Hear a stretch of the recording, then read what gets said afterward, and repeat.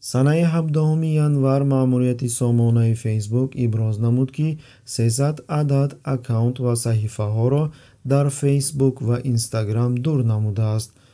Саҳифаҳои мазкур аз тарафи лоиҳаи кремли русӣ русия имрӯз ва оҷонсии русӣ спутник ки ба лоиҳаи мазкур мутааллиқ мебошад ва барои паҳн намудани маълумотҳои бардурӯғ дар кишварҳои собиқи иттиҳоди шӯравӣ истифода бурда шудааст.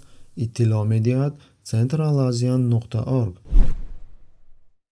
ҳамаи ин аз кишварҳои дигар карда мешуд. Масалан дар русия саҳифае кушода шудааст ки ба президент раҳмон бахшида шудааст.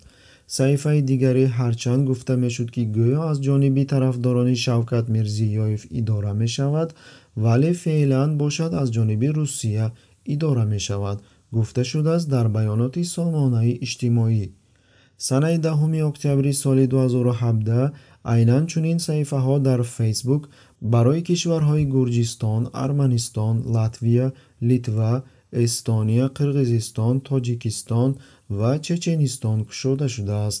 Дар саҳифаҳои мазкур хабарҳои оҷонсии спутник нашр гардидааст ки асосан аз ташвиқот ва хабарҳои бардурӯғи русӣ иборат мебошад инчунин дар баёноти фейсбук қайд шудааст? Шахсоне ки мансубияти худро ба оҷонсии спутник инкор мекарданд ба манбаи мустақил будани худ изҳор менамуданд ва мехостанд тухми адоватро дар кишварҳои хабар паҳншуда бикошанд.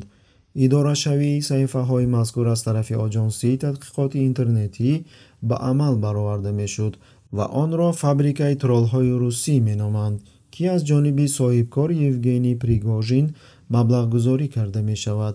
Мақсади асосии оҷонсии мазкур паҳн намудани маълумотҳои бардурӯғ барои пеш бурдани манфаатҳои русия бо тариқи сомонаҳои фейсбук гугл ва твиттер мебошад.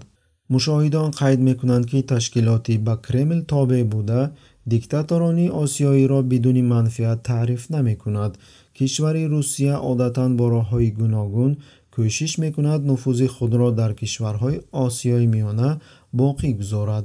Аз ин рӯ боқӣ мондани ҳукумати диктаторон дар сари қудрат барои русия хеле манфиатовар аст.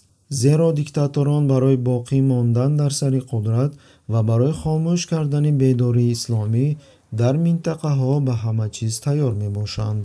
Билдирмай қамаварди унгаям сабр қилиб ана он саккиз йил o'tdi shunga Thank you.